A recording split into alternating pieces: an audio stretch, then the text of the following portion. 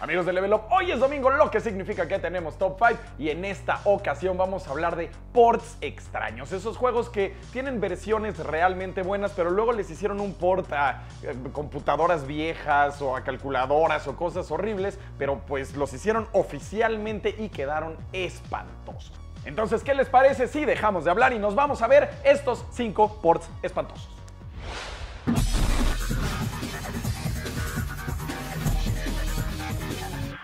Abrimos este top 5 con uno de los juegos más importantes y emblemáticos en la industria. Estamos hablando, por supuesto, de Doom de id Software. Este juego que curiosamente tiene una propiedad bastante extraña y es que todo mundo lo quiere portear a todos lados, calculadoras, eh, impresoras, eh, muchísimas cosas. Donde se pueda correr Doom, se va a correr Doom. Y es que Doom no solamente se puede correr en una tostadora, literalmente, sino que lo hemos visto en toda clase de dispositivos que tengan una unidad de procesamiento y una pantalla, desde refrigeradores hasta impresoras. Pero quizás una de las versiones más extrañas es una adaptación a la popular serie de calculadoras gráficas de Texas Instruments. Y siendo un poco más honestos, aquí estamos haciendo un poquito de trampa, la verdad, porque las versiones de Doom que se difuminaron por el crudo internet a principios de los 90 no se tratan de adaptaciones oficiales en el sentido estricto de la palabra, más bien son creaciones crudas de entusiastas que querían aprovechar las funciones programables de las calculadoras gráficas. Y el resultado de todos estos ports realmente son como líneas crudas que medio representan paredes y como que te tienes que imaginar al zombie. Y en muchas ocasiones se parece más a Wolfenstein que a Doom ya de verdad. Pero pues la verdad sí se ven bastante chafas algunas de ellas, aunque algunas son bastante impresionantes. Y hablando de Doom, chequen mi documental en Flash Gaming. Váyanse.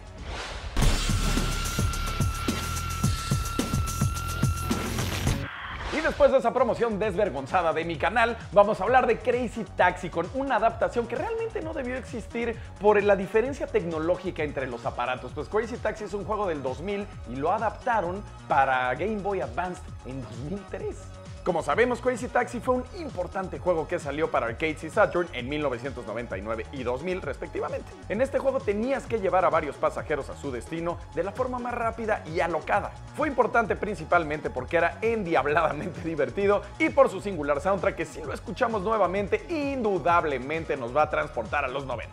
Y bueno, te adelantamos que pues obviamente este juego no se ve bien y para no estar viéndonos tan negativos, digamos que Crazy Taxi para Game Boy se ve apenas reconocible. Y en cuanto a controles, es un completo desastre. Para jugarlo parece que hay que tomarse un par de aspirinas para aliviar el bajo framerate que parece son diapositivas de PowerPoint. Y debido a lo anterior, Crazy Taxi es uno de los ports más feos que hay en la existencia de esta industria, como muestra de que quizás la idea de trasladar una idea genial a un dispositivo abismalmente inferior no es la mejor de todas.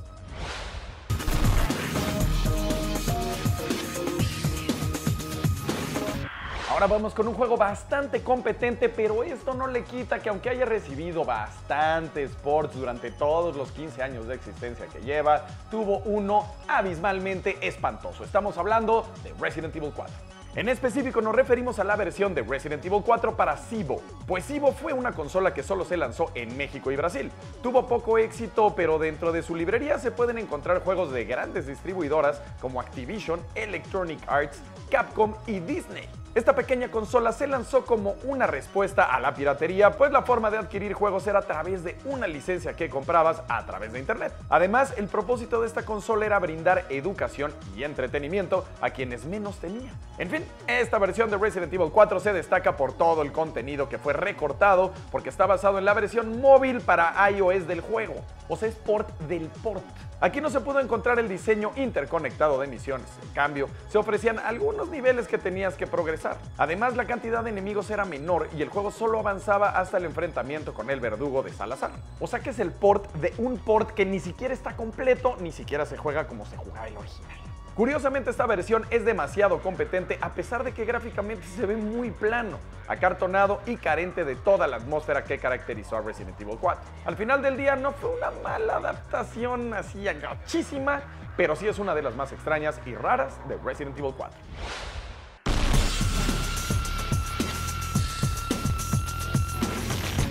Mega Man es una de las franquicias que elevó al NES a estado de culto, pues este bombardero azul era del agrado de casi todo el mundo. Pero esto no quiere decir que no haya habido adaptaciones espantosas y oficiales de Capcom de este juego, que pues no solo tuvo una de las peores portadas de la vida, sino también una de las peores adaptaciones.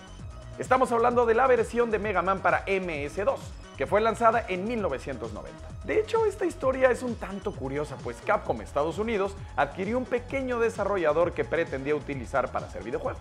Pero pasó el tiempo y nada sucedió oficialmente. Sin embargo, Steve Rosner, artista y jefe del estudio que compró Capcom, simplemente comenzó a trabajar en un juego de Mega Man por su propia cuenta. Así le valió queso. Dice la leyenda que cuando dejó el estudio, continuó trabajando en Mega Man por el simple hecho de que le gustaba tanto el personaje azul. Pero de forma astuta, nuestro querido Rosner adquirió los derechos para lanzar este juego una vez que fuera terminado. Y pues se nota que es el trabajo de una persona porque no solo tiene tres niveles con tres jefes, sino que está roto a más no poder.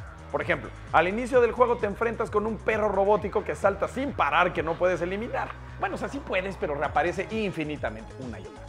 Y pues esto no te deja avanzar, ¿verdad? Lo único que puedes hacer es correr y esperar que no te mate antes de llegar a la primera puerta. Ahora imagínate cómo está el resto del juego si el inicio es casi imposible. El port de Mega Man es considerado como uno de los peores en la historia de los videojuegos. Pero vamos a considerar que Rosnak nunca tuvo acceso a código fuente o materiales de producción por parte de Capcom.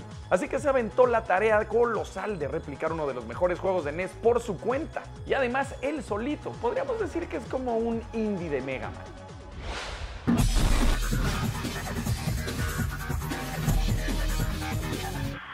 Street Fighter 2 fue todo un hito en la industria. Pocos juegos han llegado al nivel de culto que alcanzó este juego de peleas y esto por supuesto hizo que hubiera ports hasta por abajo de las mesas. Los llegaste a jugar obviamente en alguna farmacia, pero hay un port oficial que es más feo a que Ryu te patee en las pelotas.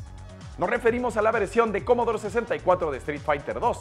Así como lo escuchas, esta joya de arcade y los 16 bits fue lanzada en 1993. Recibió una muy fea y poco celebrada adaptación en computadora casera que fue lanzada 11 años antes que Street Fighter 2. Aunque hay ports que han hecho magia al adaptar sus recursos al material fuente, lamentablemente este no fue el caso de esta pobre versión. Y es que nada más vela, el trabajo final es toda una pifia, una verdadera vergüenza para Capcom porque no solo se ve indistinguible al trabajo original, sino que al mismo tiempo se juega horrible.